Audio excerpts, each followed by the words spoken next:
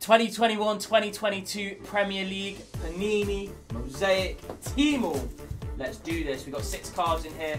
We get four exclusive parallels. We get one silver and one mosaic. It can be an autograph and we can get numbered cards as well. Let's see what we can find in this pack here then.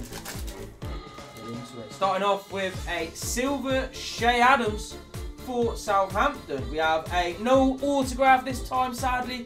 A mosaic Alex Iwobi. We have a red and green Daniel Podence. Red and green Kristoffer Ajer. Followed by a red and green Kyle Walker-Peters.